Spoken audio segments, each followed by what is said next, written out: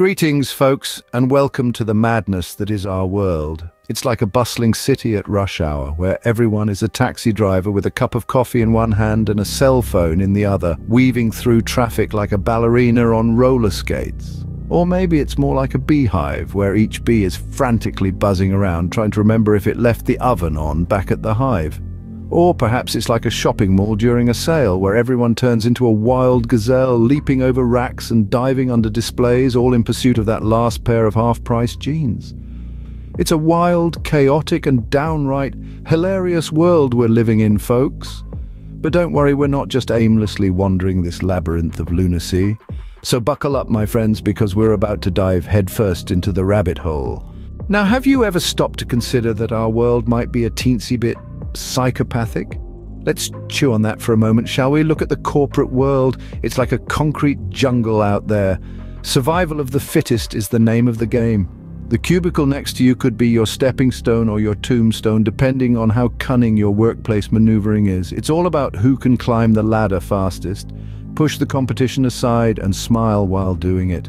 Doesn't that sound awfully similar to a psychopath's playbook? And let's not forget the ruthless world of politics. It's like a Shakespearean play on steroids, full of backstabbing, deceit and power plays. Politicians can smile for the cameras, kiss babies, and in the next breath orchestrate a scandal to take down their rivals. It's a Game of Thrones, minus the dragons, but with plenty of fire-breathing speeches.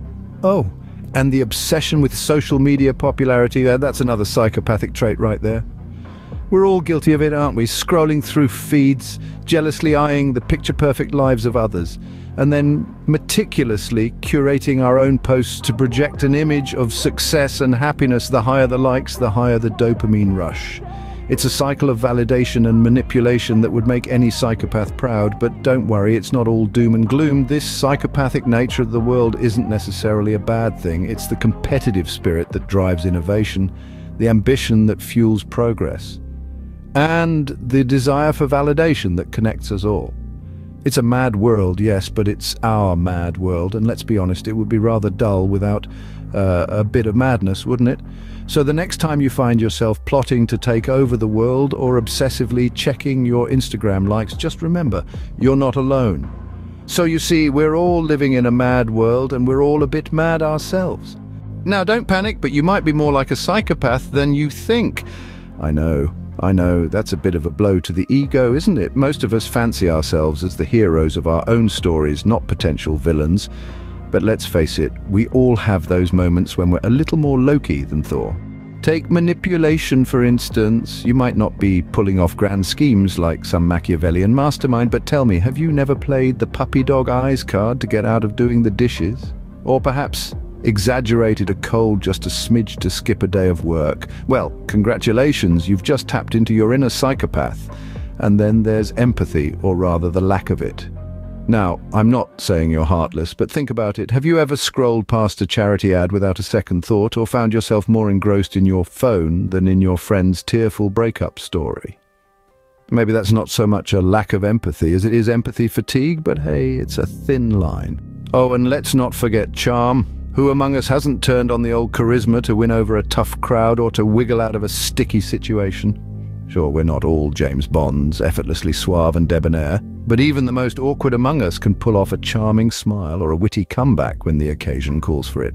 And yes, that too is a trait you share with psychopaths. So, you see, being a little psychopathic isn't necessarily a bad thing, it's just a part of being human. And while we're not suggesting you embrace your inner Hannibal Lecter, it's worth noting that some of these traits, when used responsibly, can actually be quite useful.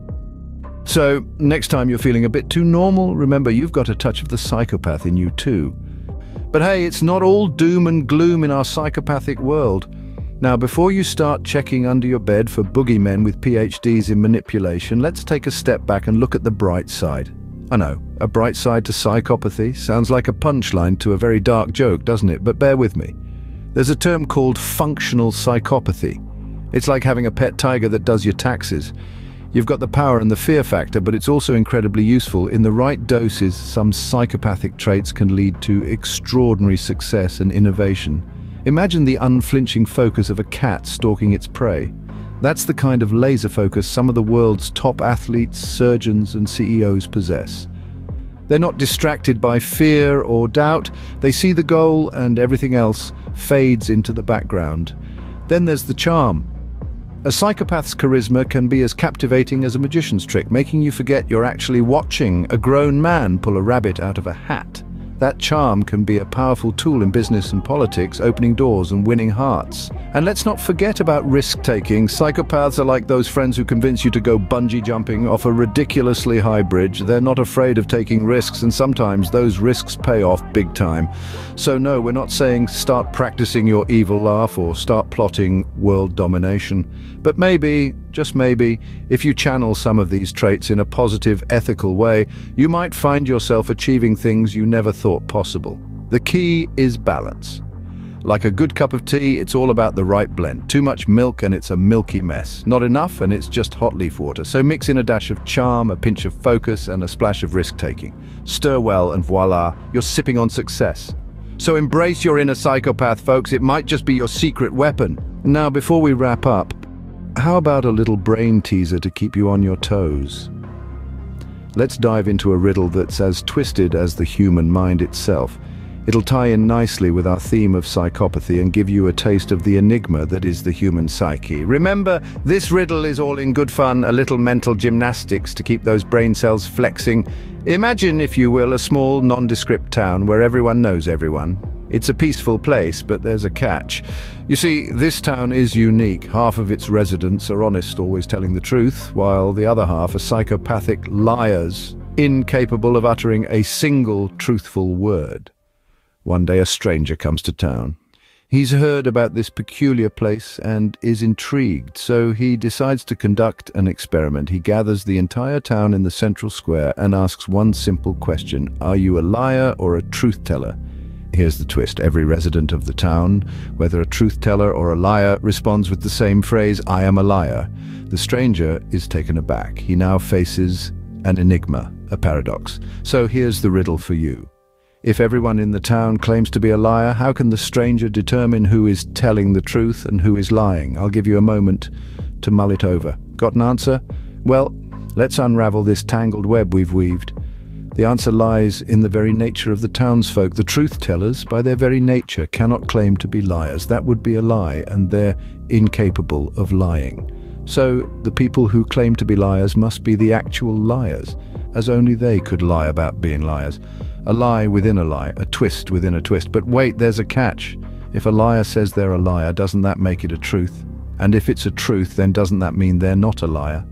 Ah, the paradox deepens. This riddle serves as a metaphor for our world. We're all playing roles, some of us truth-tellers, some of us liars. But at the end of the day, we're all human, all a bit mad, all a bit psychopathic. And that's okay. So take this riddle, ponder it, and remember it. It's a reminder of the complex, twisted, and wonderfully mad world we live in. And with that, we leave you to ponder the madness of our world. Remember, we're all a little bit crazy, and that's perfectly okay.